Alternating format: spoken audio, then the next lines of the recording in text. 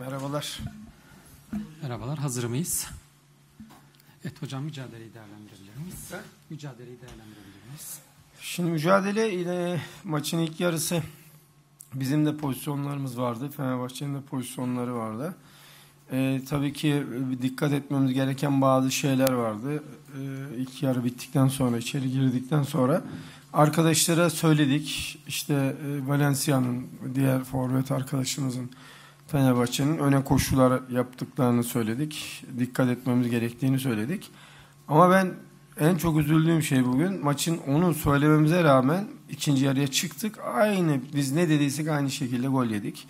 Ona ben üzüldüm. Bizim için bu sezon çok yorucu geçti. Bayağı bir yorucu geçti. Hem, hem lig olsun hem Türkiye Kupası olsun hem de özellikle de Avrupa Kupaları olsun. Hakikaten e, takımı bayağı bir yıprattı. Bıkkınlık oldu, yorgunluk oldu herkeste. Zaten biliyorsunuzdur belki takip ediyorsanız biz Avrupa'nın en yaşlı takımıyız. Türkiye'nin de öyle.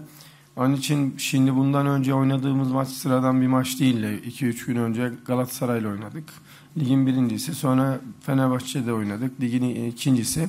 İyi takımlarla oynadık. E, Fenerbahçe tabii ki ligdeki durumu belli olmadığı için çok büyük ağırlık verdiler e, Türkiye Kupası'na.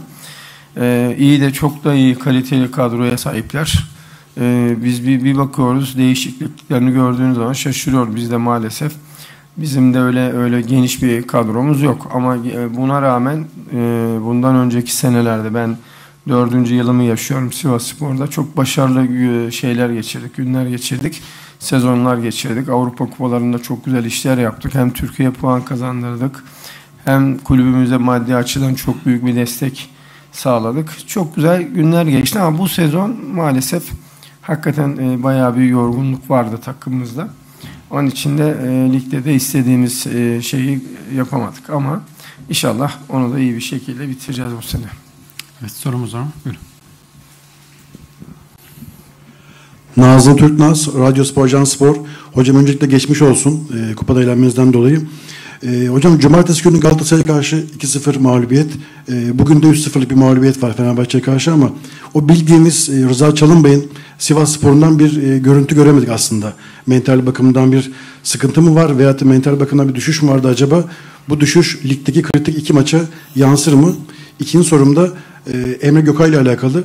E, Galatasaray maçında şans verdiniz. Genç yetenek. Ama bu maçta hiç tercih etmediniz. Bununla alakalı da e, açıklama yapar mısınız? Teşekkür ederim. Şimdi birincisi biz Galatasaray maçında şöyle yani e, ister istemez tabii ki bizim için o maç da önemliydi ama şimdi bizim oynayacağımız sizin de dediğiniz gibi iki tane Konya ve Kayseri maçı da çok önemli. Benim yedi taneden yedi tane e, kat sınırında oyuncularımız vardı. Onlara oynat, oynatmadık. Çoğunu oynatmadık. Mecburen. Diyorum ya kadromuz hem dar hem yorgun bir kadro. O yüzden de oynatmadık. O maçta maalesef eksik e, çıktık. Bayağı bir eksik çıktık.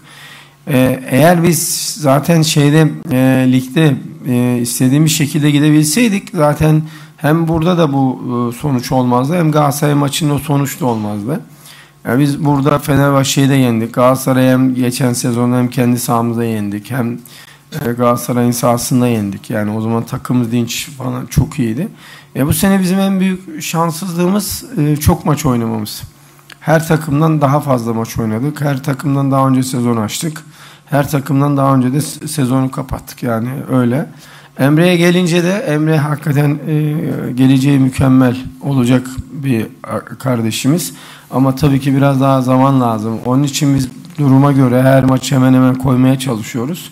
E, bugün tabii ki biraz işte bazı görmediğimiz veyahut da az şans verdiğimiz arkadaşlarımızı oynattık. Çünkü önümüzdeki maçlar bizim için çok önemli.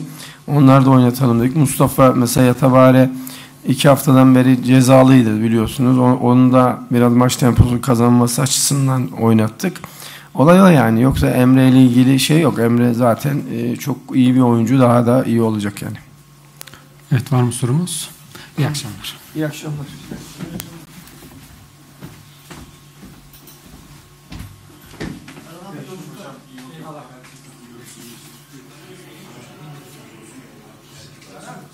Hocam, geliyorum hocam. Hadi görüşmek üzere.